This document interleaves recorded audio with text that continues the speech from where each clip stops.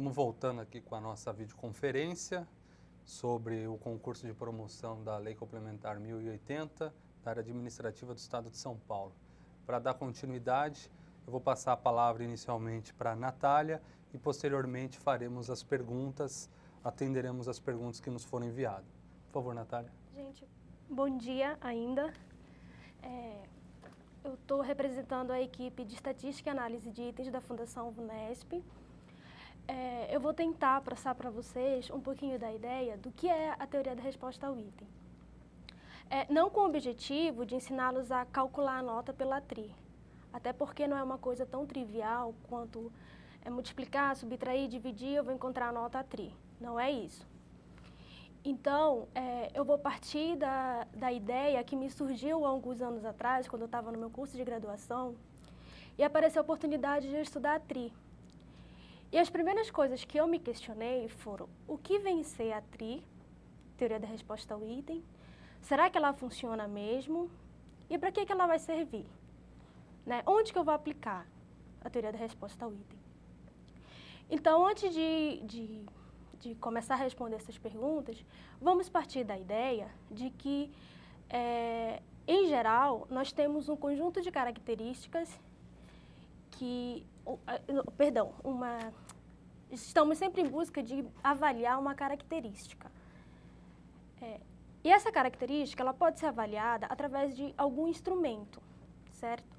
E esse instrumento ele vai me ajudar a avaliar essa característica através de uma medida. É, na teoria da resposta ao item, a gente costuma chamar essa característica de variável latente.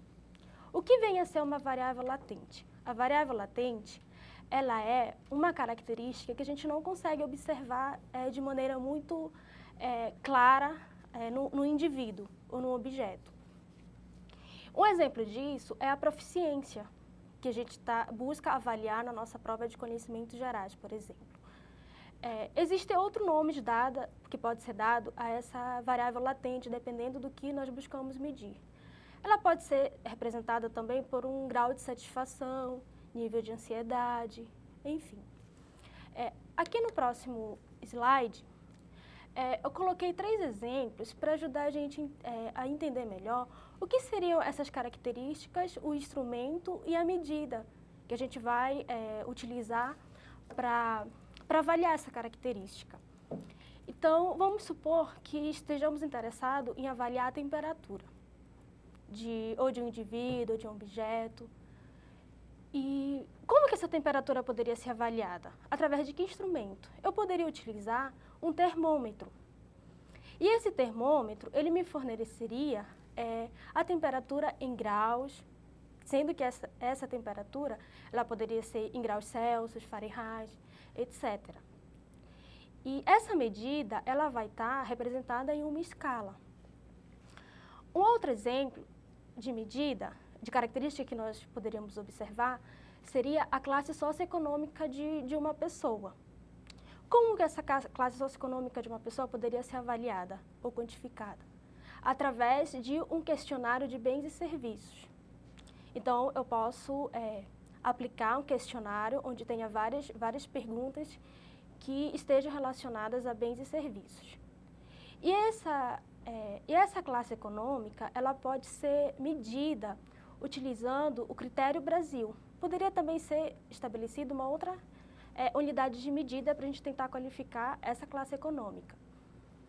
É, pro, adaptando para o nosso caso, da teoria da resposta ao item, é, essa característica que nós buscamos avaliar poderia ser é, exemplificada como uma proficiência em língua portuguesa. É, que se a gente for parar para pensar, no caso do Enem, é uma das proficiências que são avaliadas lá. E essa proficiência, ela é avaliada através da aplicação de um teste. E, e, esse teste, ele vai, eu vou obter uma, uma medida que vai estar representada numa escala. Que hoje em dia, pegando o exemplo do Enem, essa escala ela já existe, que foi conforme a professora Tânia falou, que ela é representada pela média é, 500 e desvio padrão 100. Então, o que, que seria essa escala? Essa escala, vamos, vamos pegar um exemplo bem simples de uma régua. Aquela régua que a gente usa no, na escola, no nosso local de trabalho. E nessa régua, eu tenho vários pontinhos que estão que representados nela. Então, por exemplo, se a gente for pegar mais, mais ou menos ali no meio dessa régua, eu tenho é, 15 centímetros, se eu for considerar uma régua de 30 centímetros. Eu vou ter mais ou menos ali é, esses 15 centímetros, eu vou atribuir esses 15 centímetros como sendo a minha referência. Para quê? Ah, isso vai depender do que eu quero medir, né? E, e se a gente considerar os centímetros como uma unidade de variância ou de variabilidade em relação a essa minha referência, a gente tem um desvio padrão. Então, toda vez que a gente quiser fazer uma analogia ou é, entender melhor o que, que seria é, a, uma escala, o que, que seria uma média, um desvio padrão, a gente pensa nessa régua. Pensa como, como a gente vai ter um ponto de referência e, e a gente vai é, tentar posicionar um indivíduo ou um item nessa régua e vamos poder avaliar o quanto ela está se distanciando ou se aproximando da nossa referência. É, além, um outro exemplo que a gente pode dar de escala, como eu já falei, é a escala do Enem, que a gente tem lá naquela nossa segunda régua. É, eu peguei esse exemplo que eu acho que está bem é uma aplicação que a gente vê. Então, para quem nunca escutou falar na TRI, ou então quem nunca achou que tinha escutado falar na TRI, a gente tem um exemplo bem, bem claro de como essa teoria já, já, ela já é utilizada. E já vem sendo utilizada já faz alguns, alguns anos, eu diria até algumas décadas. Que é o que a gente costuma utilizar nas avaliações em larga escala no Brasil, como o SAEB, é, o SARESP, a Prova Brasil, e agora nós temos recentemente o Enem. Uh, então, se a gente for pensar na teoria da resposta ao item, essa escala arbitrária de proficiência, ela pode assumir é, qualquer valor real na, na reta numérica. Ela pode atribuir qualquer valor. Sendo que a escolha desses valores, eles são, assim, é, arbitrários. A gente não precisa é, ter um... se preocupar com com que numeração a gente vai dar. O importante é a gente saber que existe uma interpretação para esses valores e que existe uma, uma relação entre eles. Então, aqui nessa reta, onde eu coloquei uh, uma escala arbitrária de proficiência que varia de menos 3 a 3, essa escala, ela, tá, ela busca representar uma série de competências e habilidades. E esses valores eles vão depender do que eu vou estar tá querendo medir. Então, por exemplo, é, se aí nessa reta eu não tivesse um número que variasse de menos 3 a 3, eu tivesse qualquer valor que fosse, que representasse a altura, por exemplo. E aí onde eu estou dizendo que tem vários itens que vão estar tá posicionados nessa, nessa régua nessa métrica, esses itens eles vão buscar medir é, alguma informação é, ao longo dessa reta. Então, por exemplo, se eu fosse considerar uma escala de altura, é, eu poderia dizer assim, olha, lá na, no item, ali onde tem dois, por exemplo, eu poderia considerar que fosse é, um indivíduo com, com uma altura de 1,60. E eu quero saber se esse indivíduo ele é capaz de pegar um objeto que está no armário com uma altura 1,60 também.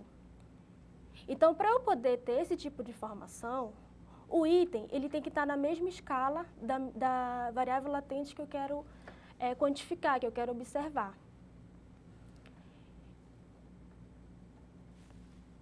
Então, é, o que a gente espera? A gente espera que o indivíduo com uma proficiência igual a 1, por exemplo, naquela escala que eu mostrei, ele consiga responder corretamente ao item na posição 1 da escala e todos os anteriores. O que eu quero dizer com isso? Se a gente for é, voltar para o exemplo da nossa altura, é, se eu consigo pegar, um, se eu tenho 1,60 de altura e consigo pegar um objeto que está no armário que também é 1,60 de altura, eu também vou conseguir pegar um objeto que está no armário com um balcão de 1,20, por exemplo. Agora, o contrário eu já não, não posso falar. Se eu tenho 1,20 de altura, Eu consigo, eu não, não necessariamente eu vou conseguir pegar um objeto que está lá no, no armário com 60 de altura. Então, é isso que eu estou querendo dizer. Então, espera-se que o indivíduo com proficiência igual a 1 não responda corretamente a um item na posição maior que 1 na escala. Então, mesmo que não sendo esperado, é possível que o indivíduo com uma proficiência igual a 1 responda corretamente a um item com posição maior que 1. Como isso é possível? Então, se, se a gente considerar esse nosso exemplo, eu tenho 1,20 de altura, eu quero pegar um objeto com que esteja no armário de 1,60, aí eu posso pegar uma cadeira e puxar e conseguir pegar esse objeto. Tudo bem, você pode fazer isso. Mas é justo eu falar que você tem 1,60 de altura só porque você conseguiu pegar esse objeto? Eu acho que, que a gente tem que repensar nisso. Então, fazendo uma analogia para o nosso cotidiano, quando a gente vai fazer uma prova que tem uma, uma questão de múltipla escolha, onde eu quero avaliar uma determinada habilidade. Eu tenho um item lá. Então, é, para responder corretamente esse item, eu vou precisar ter uma, uma habilidade é, do tamanho daquele item. E, mas pode acontecer também de eu não ter uma, uma habilidade, ter uma habilidade bem inferior ao tamanho daquele item e conseguir é, acertar a questão. Se for um item de cinco alternativas, por exemplo, mesmo eu não sabendo, é, sabendo que uma delas é a correta, eu posso ir lá e responder, mesmo sem saber nada. É o que seria uh, o, acerto casual, é o que nós costumamos chamar de acerto casual na teoria da resposta ao item. Então, qual é a ideia da teoria da resposta ao item? A gente tem uma variável latente, que nós chamamos de proficiência, mas pode ser chamada de, de nível de ansiedade, enfim, é, depende muito do que nós queremos avaliar. E essa proficiência, ela vai é, ser avaliada através de um instrumento, sendo que esse instrumento, comumente nós chamamos de teste, ou pode ser um questionário. E esse teste, ele vai ele vai ser composto de itens, sendo que esses itens, eles apresentam é, características diferentes e vão buscar representar cada ponto daquela escala, certo? E esses itens, eles podem ser itens que são avaliados de duas maneiras é, possíveis, como certo ou errado, sim ou não. E esses itens também, eles podem ser os itens que nós chamamos de itens politômicos, que são aqueles itens que eles não, não têm, é, são avaliados em mais de duas categorias de resposta, como totalmente certo, parcialmente certo, parcialmente errado, totalmente errado, enfim. Então, é, essa, a teoria da resposta ao item, ela no, nos permite é, avaliar é, uma, uma variável latente dependendo do, do item que está sendo apresentado ao respondente. Então, por definição, o que, é que nós podemos é, chamar de teoria da resposta ao item? A teoria da resposta ao item, ela nada mais é do que um conjunto de modelos matemáticos que representam a probabilidade de acertar, de um indivíduo acertar um item, em função dos parâmetros desse item e, da, e de uma variável latente pertencente ao respondente. É, mas se no meu, no meu entendimento, ah, eu tenho um item que eu não quero saber se ele se ele vai acertar ou errar. Eu não tenho essa característica no item. Eu quero saber é, se ele está mais ansioso ou menos ansioso. Então, é, a teoria da resposta item ela também apresenta é, um, é, um, leque de, de modelos que vão depender do tipo de, de item que eu vou estar usando e do tipo de variável latente que eu vou, eu vou querer observar naquele indivíduo. Então, comumente, é, na teoria da resposta ao item, um dos modelos de, de resposta ao item mais utilizado é o modelo logístico de três parâmetros. Existem outros modelos, mas esse é o, é o que vem sendo mais utilizado. É, a gente tem, ele, ele é representado por uma, uma equação matemática é, e, como vocês podem ver ali, a probabilidade de um indivíduo dar uma determinada resposta a um item em função dos parâmetros desse item e de uma, de uma variável latente associada a ele é dada por uma função e isso pode ser modelado E para eu calcular, para eu estimar essa proficiência, eu vou considerar um questionário com alguns itens, sendo que esses itens, eles vão apresentar algumas características. Que características são essas? O, o item ele tem um parâmetro que a gente chama de discriminação. O que seria esse parâmetro de, de discriminação? Seria é, uma forma de eu avaliar se esse item ele consegue diferenciar os candidatos com alta proficiência dos candidatos com baixa proficiência. Ele tem outro parâmetro que, que o caracteriza, que é o parâmetro B, chamado parâmetro de dificuldade ou localização. E esse parâmetro ele é medido na mesma escala da proficiência. E nós temos também o parâmetro C, que ele é um parâmetro de acerto casual. Como eu falei, em alguns casos, o indivíduo pode se responder corretamente ao item, é, sem, sem necessariamente ter uma proficiência é, necessária para responder corretamente aquele item. Então, esse item ele pode ser representado por uma curva que o caracteriza. Qual seria essa curva? Para o modelo logístico de três parâmetros, ele pode ser representado por essa curva aí. O que, que eu quero mostrar aí? Não é que... Ai, que figura linda, não é isso, gente. Então, é para é mostrar a importância que cada parâmetro desse que eu falei para vocês, ele, ele tem que ser medido, ele tem que ser levado em consideração na hora que eu vou estipular uma nota para o respondente de um teste. Então, olhando, observando esse gráfico, qual a relação que a gente pode ver desses parâmetros? Então, aqui é, eu tenho um gráfico onde eu tenho uma escala de proficiência, que seria a mesma escala é, do parâmetro de dificuldade, e tenho ali também os valores de probabilidade, que variam de 0 a 1. Um. Então, o que, que eu estou dizendo? Eu estou olhando para essa escala de proficiência, que é uma, uma escala arbitrária aí, mas eu sei que ali é, o indivíduo com proficiência 5, ele sabe menos do que o indivíduo com proficiência é, 200, por exemplo. Então, eu observando aquele gráfico ali, eu vejo que mesmo os, os indivíduos que eles têm... É, que apresentam uma proficiência muito baixa, eles ainda têm uma, uma chance de, de acertar corretamente o item, ainda que essa chance seja baixa.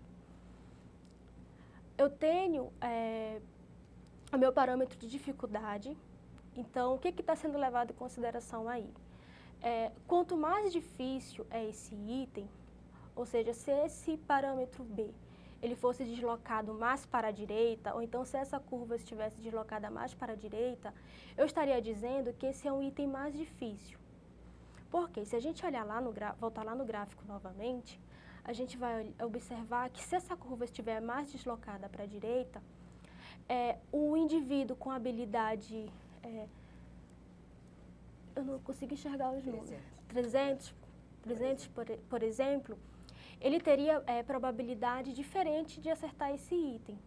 Ou, ou melhor dizendo, dois itens com dificuldades diferentes. É, e o parâmetro A, o que, que ele pode me, me informar? Como eu já falei, a capacidade que o item tem de diferenciar, diferenciar esses dois, os indivíduos com baixa proficiência é, e o indivíduo com alta proficiência. Como observo ali no gráfico? Então, eu tenho ali, vamos supor que essa curva estivesse representando é, uma ladeira. O formato de uma ladeira tem mais ou menos essa, essa, esse, essa forma sinuosa. Se não fosse uma ladeira, se fosse uma, uma rua plana, esse, essa curva aí estaria bem, bem mais reto e estaria dizendo que indivíduos, que indivíduos com, com proficiências diferentes teriam é, aproximadamente o mesmo valor, ou a mesma probabilidade de acertar o item. Então, essas, essas características desses itens, elas são muito importantes é, da gente é, observar na hora que a gente vai é, avaliar a proficiência do indivíduo. Então, por exemplo, é, se eu tivesse um teste com 25 questões, eu teria 25 curvas para representar esses itens que estão nesse teste. Então, por exemplo, se a gente olhar ali, está é, num formato diferente, mas essas curvinhas aí seriam, estariam representando cada um dos 25 itens que compõem o teste. E a gente percebe que elas são diferentes. Por que, que elas são diferentes? Porque elas apresentam parâmetros de itens diferentes, valores diferentes para o A, para o B, para o C. Então, para cada item, é, é estimados esses parâmetros. E a proficiência de um indivíduo ela é estimada através do conjunto de respostas dadas aos itens do teste. Então, a gente pode ter o caso de dois indivíduos é, acertarem o mesmo número de itens, mas não necessariamente eles vão ter a mesma proficiência. Por quê? Porque a gente tem que levar em consideração é, a dificuldade desses, desses, desses itens. E, e a proficiência estimada depende das características dos itens e dos indivíduos é, responderem, a, como eu falei, a dificuldade, discriminação e acerto casual. É, qual é a vantagem de usar TRI? É, a vantagem de usar TRI é que a gente não fica é, limitado somente ao número de acertos. Então, por exemplo, eu posso ter é, dois indivíduos que acertaram, nesse exemplo aí, acertaram 10 itens. Só que esses 10 itens, é, eles apresentam características diferentes. Então, se eu for considerar somente o número de acertos, eu vou estar dizendo que eles têm é, aproximadamente a mesma, a mesma proficiência. Enquanto se eu for validar ele pela TRI, eu vou observar que não necessariamente isso vai ser verdade. Por quê? Porque pode ter indivíduo que acertou aquele item casualmente. E a TRI, ela consegue captar isso. É, então, gente, é, quando a gente pensar na teoria da resposta ao item e, e uma escala de proficiência, o que, que a gente tem que pensar? A gente tem que pensar que o, o candidato ou o indivíduo ele vai estar posicionado nessa escala. Essa escala ela vai estar a, um, é, alguns desvios padrões abaixo ou acima da nossa do que a gente chamou de, de referência. E eu tenho que ter a, a ideia de que o candidato que ele está acima dessa nossa referência, ele sabe mais do que o candidato que está abaixo dessa nossa referência. Então, isso é um ponto muito importante que, que eu acho que tem que ser esclarecido e, e tem que ser aceito. Bem, gente, eu acho que é Acho que é só, espero que tenha dado é, para esclarecer alguma coisa. Quem tiver mais dúvida pode pesquisar alguma coisa na internet. Eu sugiro um material que eu vi, que é o, o Guia do Participante do Enem. Ele é um material bem didático, tem lá é, é, um texto informativo sobre como é atribuída a nota. Então, vocês podem pegar aquele material e, e também reforçar a leitura e ver se, se consegue entender mais, esclarecer mais é, essa, essas dúvidas com relação à TRI. Obrigado, Natália. A professora Tânia está pedindo a palavra, Sim. dar algum complemento, por favor. Eu acho que a, a Natália foi bastante didática na sua apresentação, parabéns, Obrigada, Natália. Professora. E nós também publicaremos no site da VUNESP, especificamente para esse concurso, um manual explicativo sobre essa metodologia. É, ele, deve, ele está em processo de construção e validação e ele deve estar no site já disponível para todos os candidatos no, no www.vunes.com.br barra Secretaria de Gestão SGP, FGP 1301. 1301 né? Então, vocês podem ter acesso a esse material, né, como a, a, a Natália apresentou, mais um, um, texto explicativo sobre a metodologia empregada na teoria da resposta ao item. Okay, obrigado, professora Tânia. É, o objetivo aqui da conferência, como dito no começo da, da nossa fala, era apresentar um pouco um panorama geral do concurso de promoção, dar alguns esclarecimentos a respeito do processo de realização da prova, da inscrição e sobre a TRI, que é um, existe um volume de dúvidas bastante significativos a respeito deste modelo de inscrição.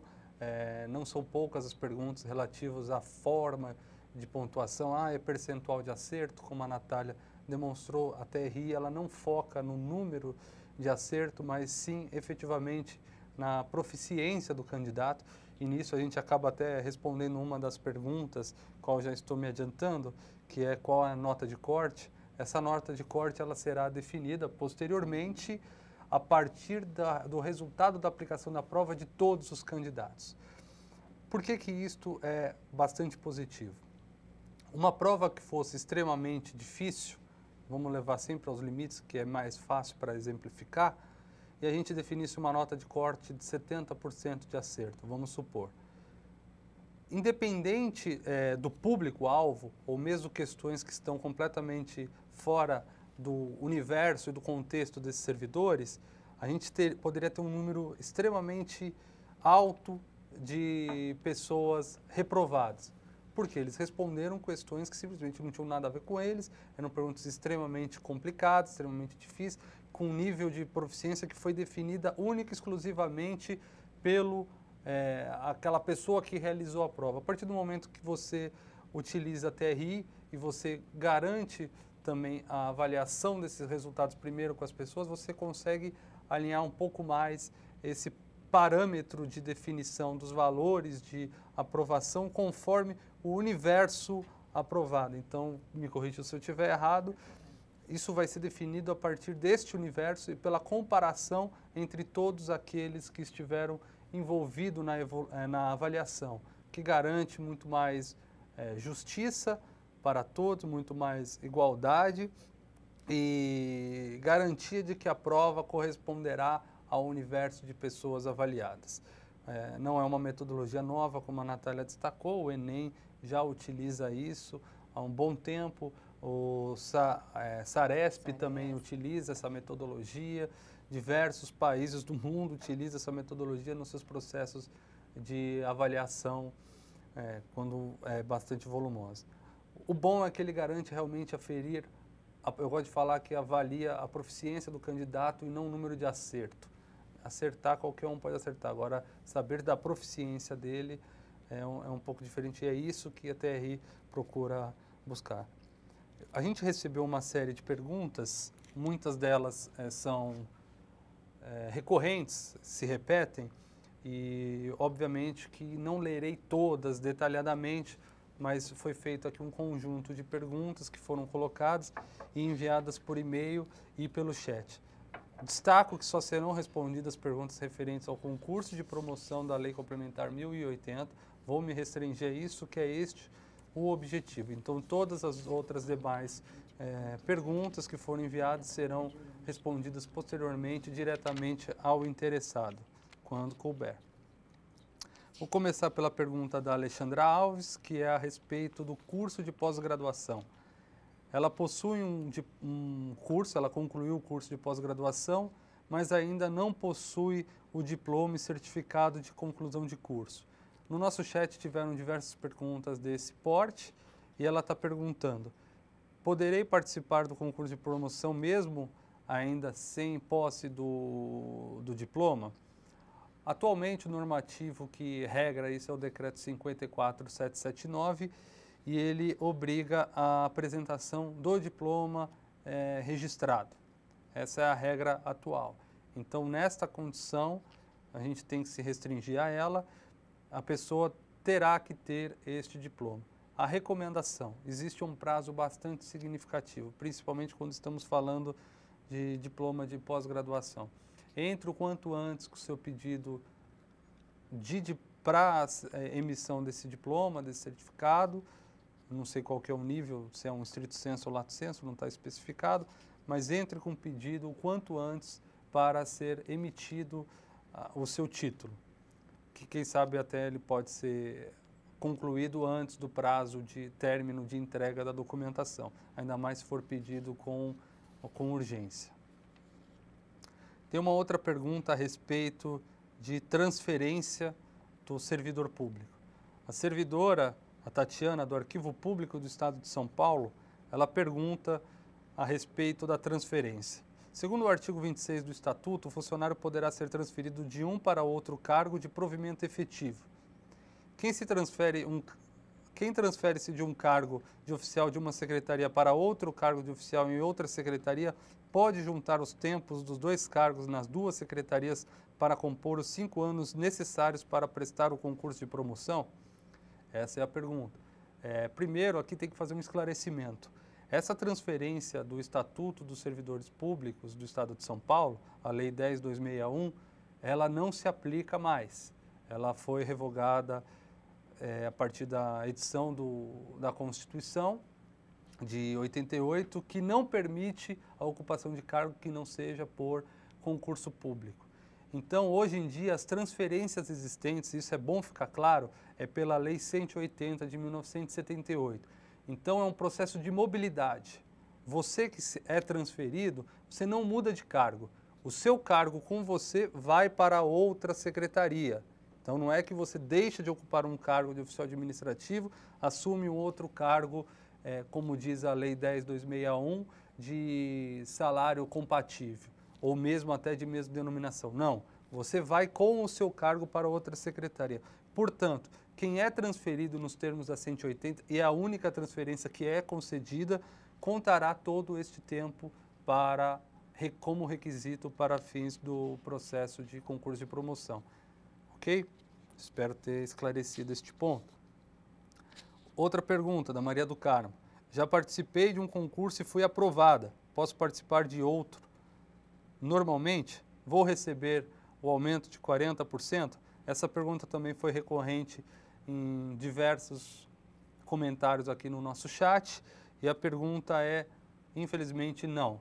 É, quem determina isso é a Lei Complementar 1080 de 17 de dezembro de 2008 e ela prevê apenas duas referências, a referência 1 para 2. A pessoa chegou na referência 2, ela só poderá passar nas escalas de grau referente à progressão.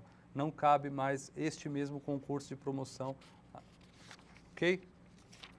Está respondido.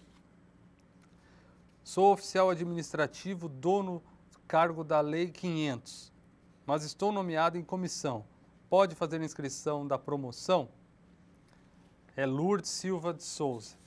A mesma Lourdes mandou uma outra pergunta complementando, dizendo: o oficial tem que ter a, a, faculdade? Quem não tiver a faculdade oficial administrativo não vai poder fazer o concurso de promoção?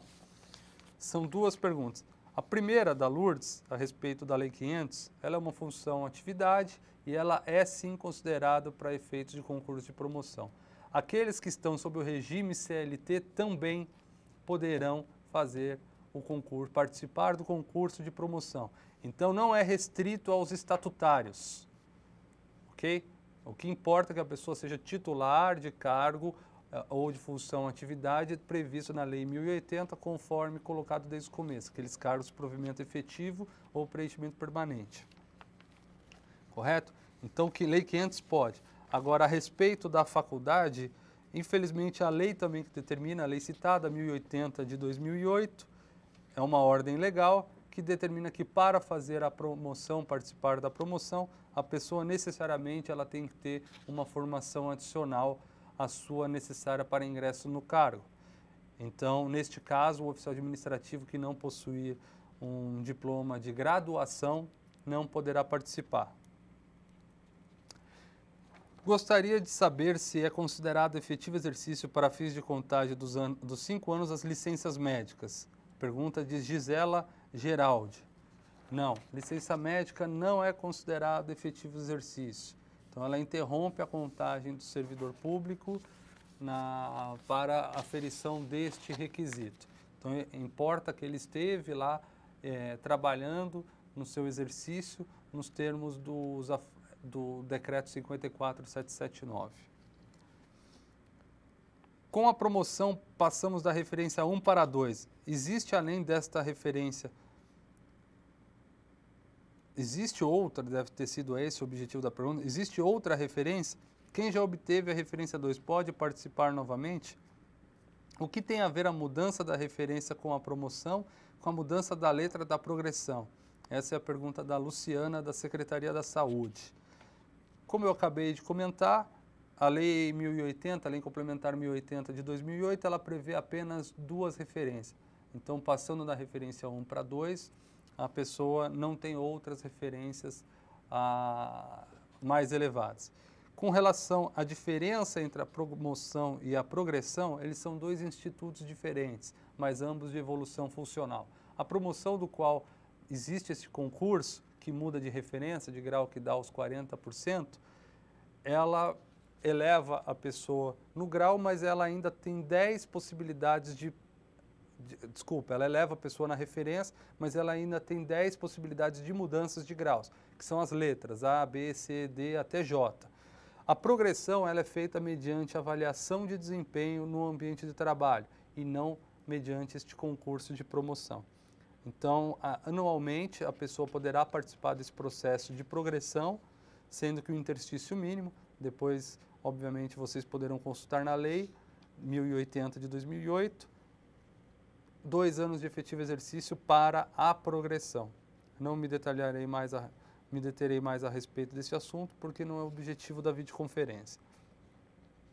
Sou servidora do DR, Departamento de Estradas e Rodagens, há três meses. Eu posso prestar este concurso de promoção? Se não, qual é o perfil do servidor para este concurso? Rosa Neves. Novamente, é, a pessoa não poderá participar porque tem três meses. Já falei no começo dessa videoconferência dos requisitos e novamente destaco a importância de se ler o edital para conhecer esses requisitos. O requisito de ter os cinco anos mais a formação adicional está claramente exposto lá no edital de abertura do concurso de promoção, assim como no decreto 54779 de 2009 e na lei complementar 1080 de 2008. Então é importante ler o documento. Mais uma pergunta de Maria Santos. Fui transferida do quadro da Secretaria da Educação para o da PGE a partir de janeiro de 2013. Estou completando 30 anos de serviço público. Posso fazer essa promoção?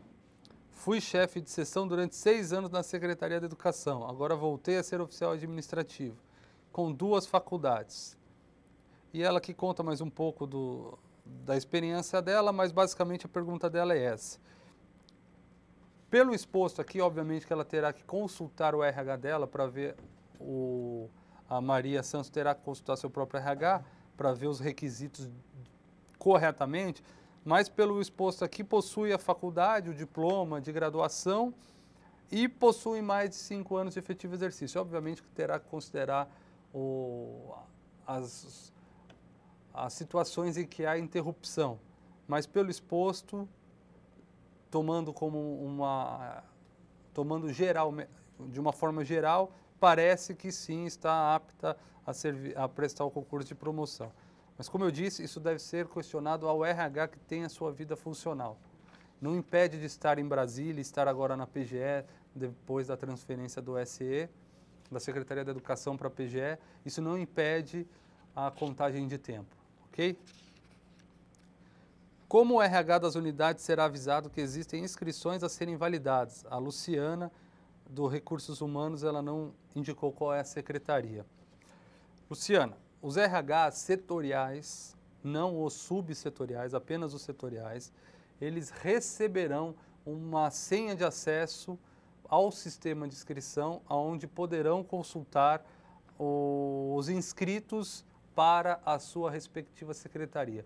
Internamente, caso você seja de um subsetorial, internamente os procedimentos de como o subsetorial vai conversar com o setorial vai ser uma definição de cada órgão, ok?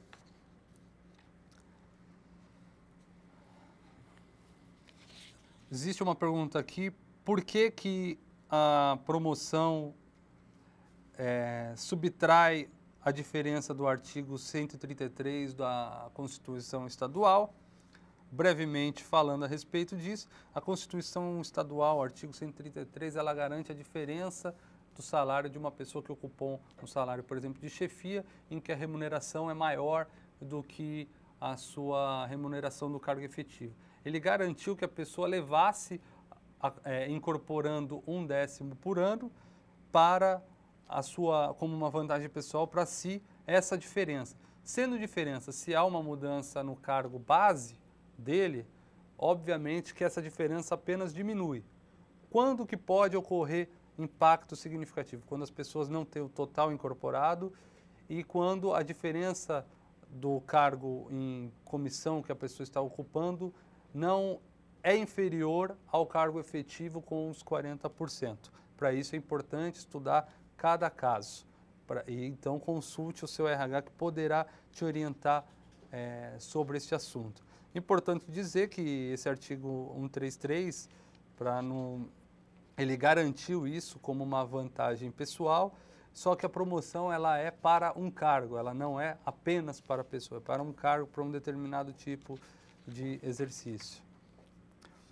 Passando aqui para os nossos suas, nossas interações dentro do chat, tivemos bastante. Uma das perguntas bastante recorrentes é se o vídeo continuará disponível no ar, sim.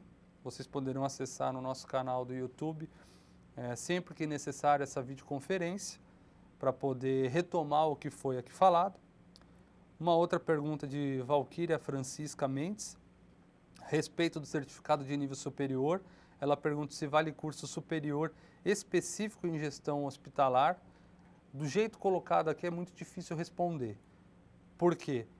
Nível superior pela Lei de Diretrizes e Bases da Educação não é apenas, não são todos os cursos de nível superior que são de graduação. A lei manda que o curso de superior tem que ser graduação. Caso o seu diploma seja referente a um curso de formação específica, este não é considerado como graduação, portanto, não preenche o requisito da graduação adicional para quem é cargo de nível médio, ok? Outra pergunta que está sendo feita aqui é a respeito do. Eu fiz cinco anos em agosto de 2013, posso participar do concurso. A atual regra determina que a contagem de tempo seja feita até 30 de 6 de 2013, no caso específico deste concurso. Se a pessoa em 30 de 6 de 2013 não teve cinco anos de efetivo exercício, ela não preenche é, o requisito. Obviamente, algumas pessoas poderiam questionar: ah, mas eu fiz cinco anos de efetivo exercício dois dias depois. Um dia teria que demarcar essa data de contagem. E mesmo que fosse na data de abertura do concurso de promoção, quem fizesse dois dias depois da data de abertura poderia se sentir prejudicado. Então, não se trata apenas de prejudicar ou não, mas é uma definição normativa que está exposta pelo decreto 54779 e é o que está em vigor atualmente. Pelos critérios atuais, essa pessoa não preenche o requisito. A respeito de uma pergunta, é a mesma, fiz cinco anos em setembro, a mesma resposta é a pergunta da Margarete Pires. Sou servidora CLT, 23 anos posso concorrer, como já respondido sim. O CLT é o, é o regime jurídico é, de contratação, mas o regime retributório é o da Lei 1080, se for no caso, poderá concorrer sim, mas sempre consultando o seu RH, porque ele tem o detalhamento da sua vida profissional. Mais alguma pergunta? Acabei o superior em 12 de 2013 e não tem diploma, somente certificado. Posso concorrer? a situação é análoga à da servidora que concluiu a pós-graduação, então tem que apresentar o diploma pelas regras atuais. Como eu disse, o edital ele segue os normativos que estão presentes atualmente, a Lei 1080 e o Decreto 54779. Estando vedado por estes normativos, o edital não pode ir contra. Então, nessa condição, não poderá é, participar. Mas como eu disse, sempre mantenha-se atualizado, consulte o seu RH, acompanhe o site da Fundação VUNESP, acompanhe o Facebook da Unidade Central de Recursos Humanos, que lá qualquer novidade nós sempre publicaremos para levar aos senhores de forma direta e tentar facilitar essa comunicação. Pergunta de Patrícia Aparecida, sou oficial administrativo, poderei apresentar somente o certificado em pós-graduação? Não, não pode por um motivo é, bem claro. Primeiro, que a lei manda o documento da graduação. Segundo, a pós-graduação lato sensu, ela é possível de ser feita mesmo sem uma graduação, que é o requisito para a promoção dos servidores que estão nos cargos de nível intermediário. Então, é possível que ocorra uma pessoa ter um título de especialização lato sensu e não contenha uma graduação, um título de graduação. Pergunta de Cristiane Stefani Pérez. Por que essa prova só tem de dois em dois anos? Essa é uma definição normativa, está previsto no decreto 54779. Ok? Perguntas também sobre o nível superior.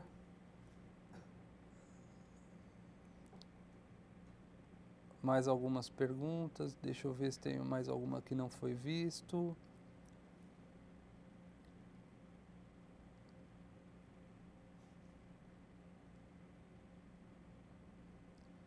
Uma pergunta que está sendo colocada aqui, eu, depois eu, a gente já até comentou, mas eu passo também para a professora Tani, para a Natália, é a respeito da nota de corte.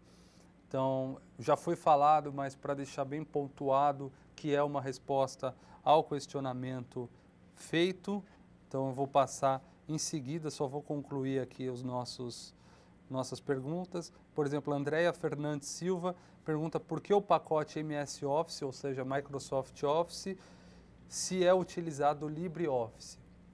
É, Andréia, nós antes de definirmos qual era o pacote que ia ser a base referência para o concurso de promoção, fizemos uma enquete é, com os órgãos é, de todo o estado, onde mandamos um formulário eletrônico e uma boa parcela da população de servidores dos cargos da 1080 responder essa enquete. Ela foi feita em 2012, 2000, 2012.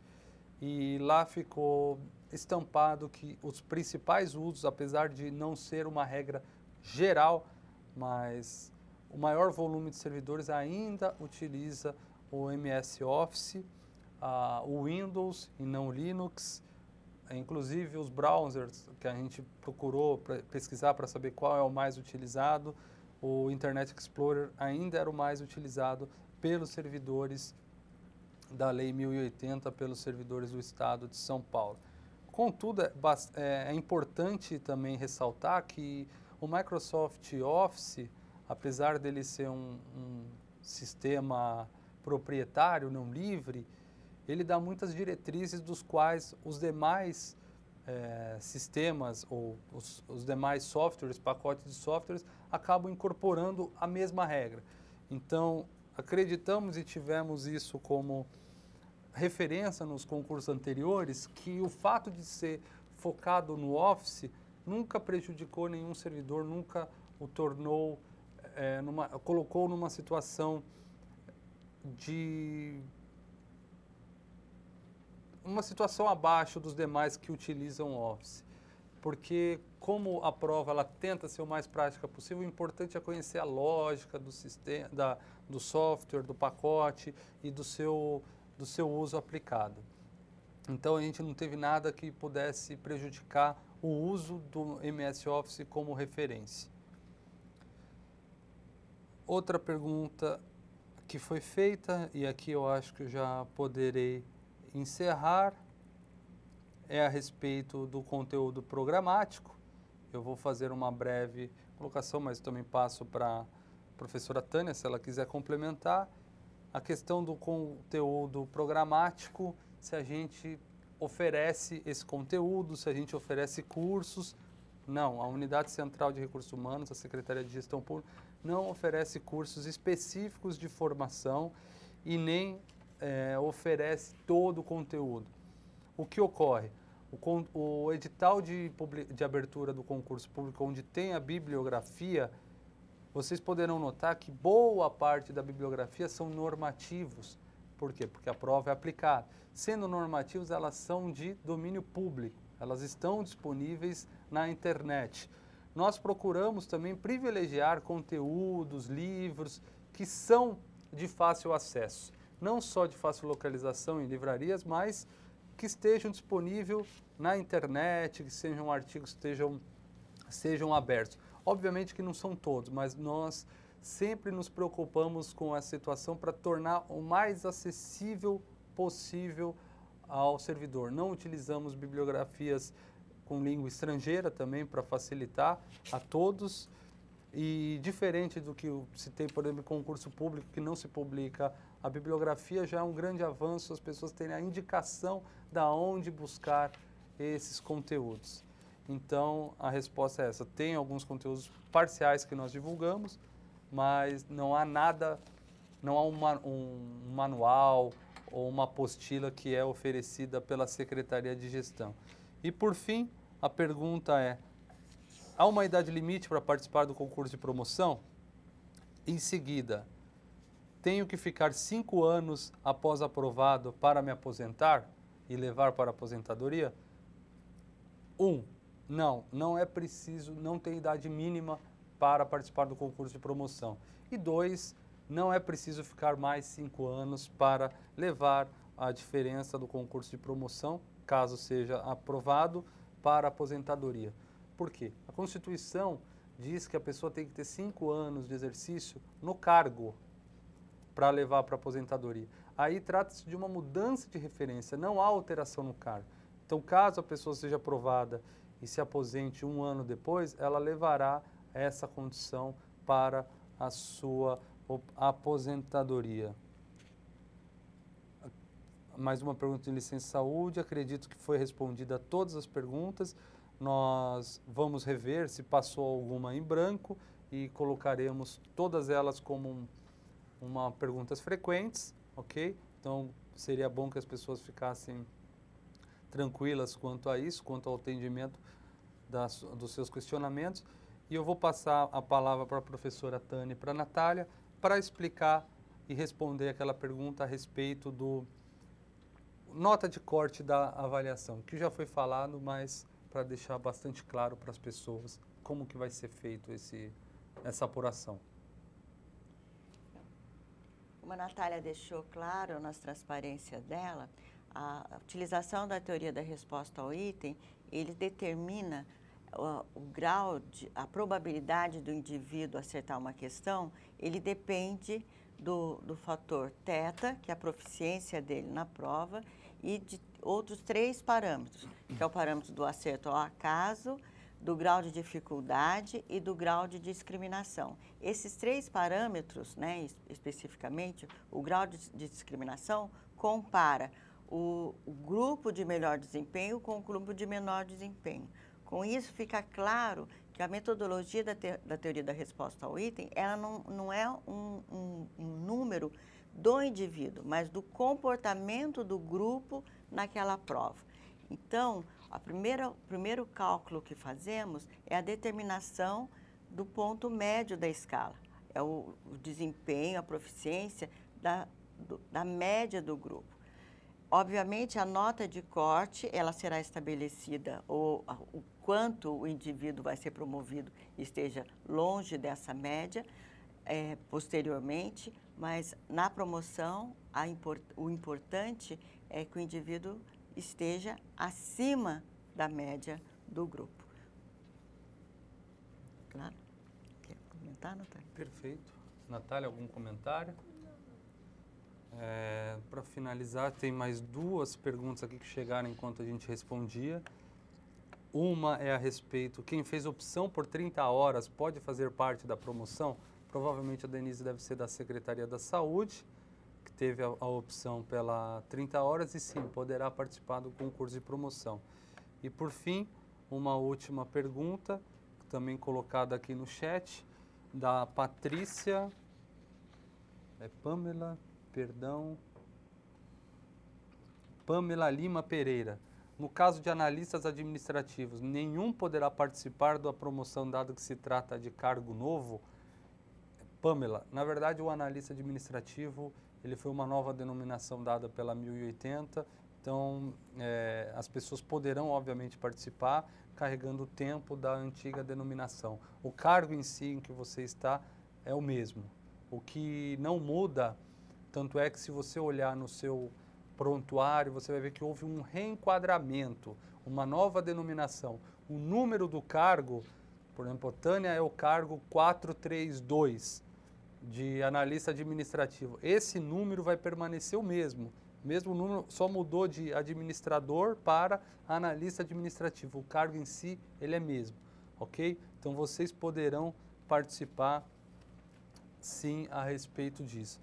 E estão chegando perguntas, eu vou ter que pedir desculpas para é, as pessoas, eu vou responder as duas últimas, senão não vai parar.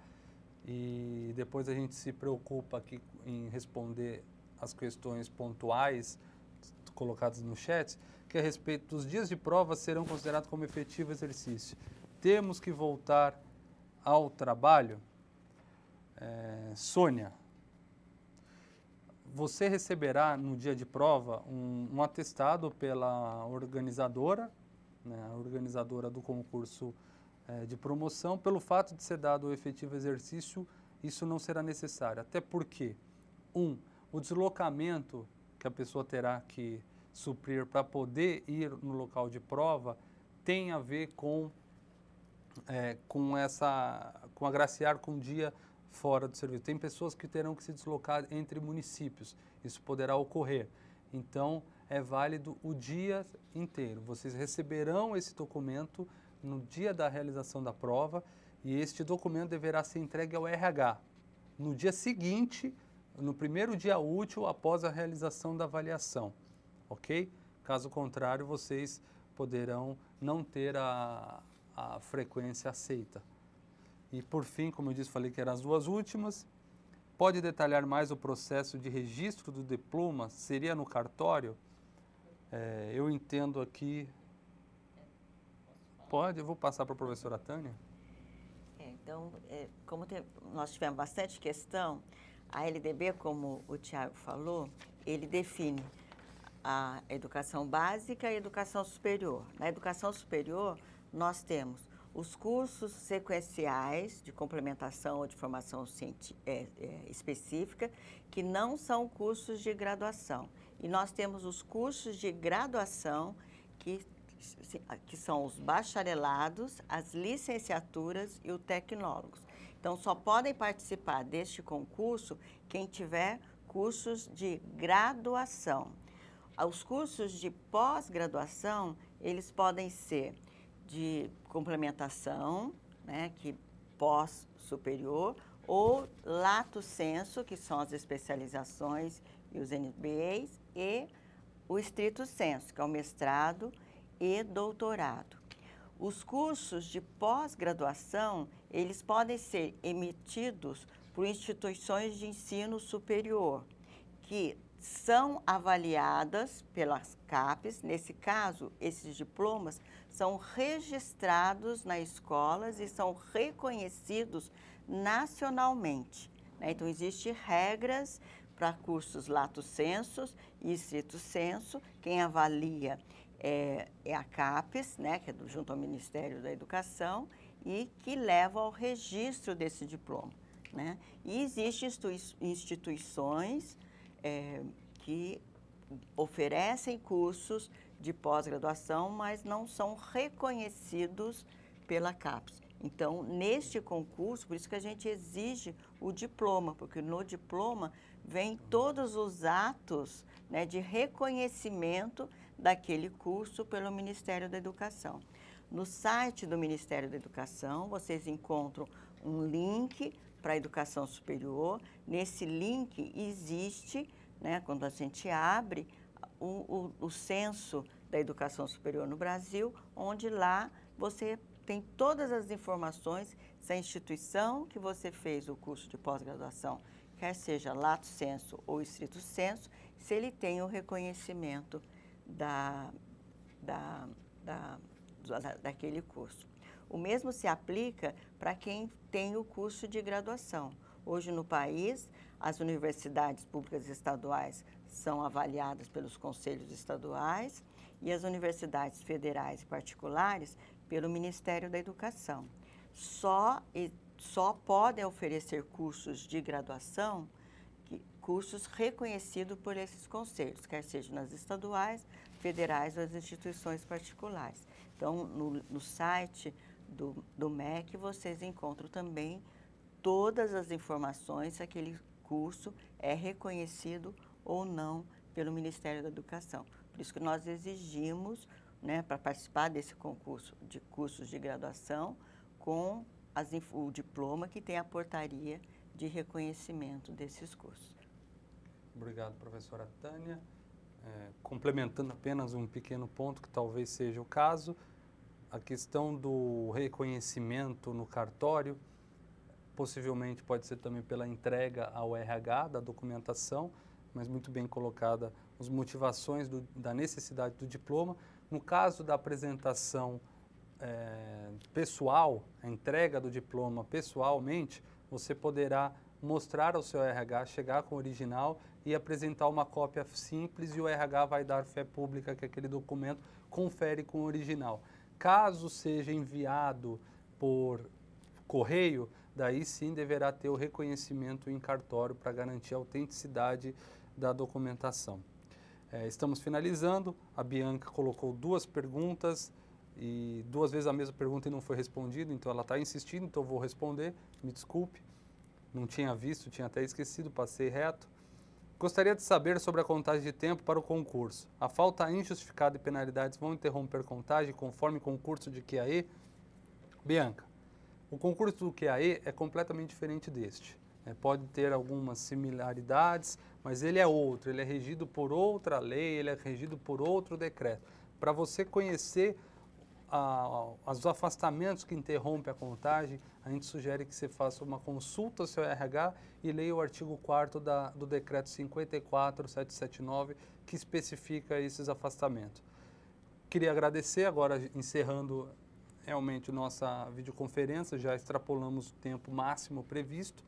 Queria agradecer a professora Tânia, Guilherme, Natália, da Fundação VUNESP, agradecer a própria Fundação pela Secretaria de Gestão Pública, por vocês darem, dispondo do tempo de vocês para participar aqui dessa videoconferência, com o objetivo de esclarecer um pouco os processos relativos ao concurso que será realizado este ano.